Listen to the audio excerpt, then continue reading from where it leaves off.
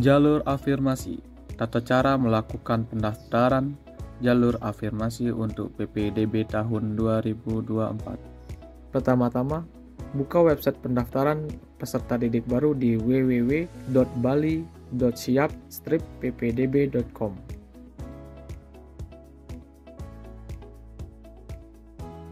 Peserta didik baru dapat memilih sekolah menengah atas atau SMA, ataupun dapat memilih sekolah menengah kejuruan atau SMK. Contoh jika peserta didik baru memilih SMK.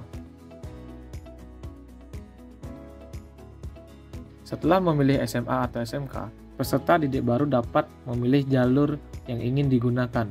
Peserta didik baru dapat mengajukan pendaftaran lebih dari satu jalur, asalkan jalur tersebut berada di dalam kelompok pilihan jalur yang sama.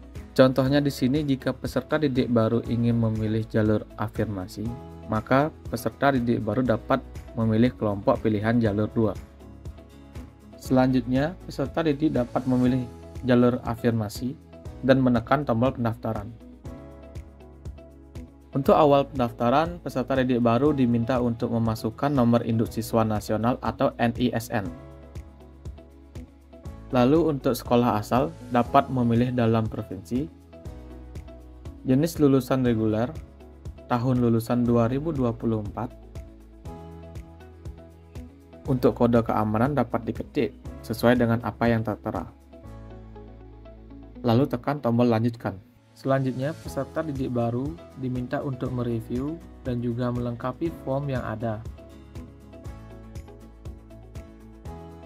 Untuk RT atau RW dapat diisikan dengan angka 0.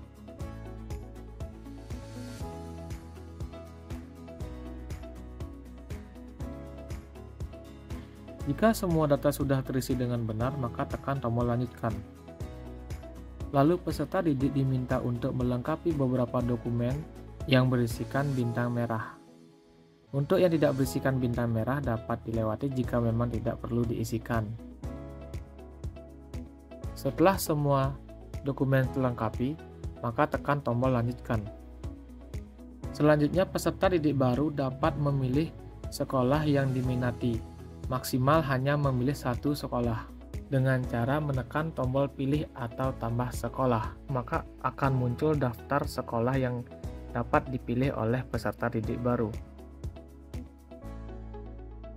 Setelah memilih sekolah, maka peserta didik baru dapat menekan tombol lanjutkan.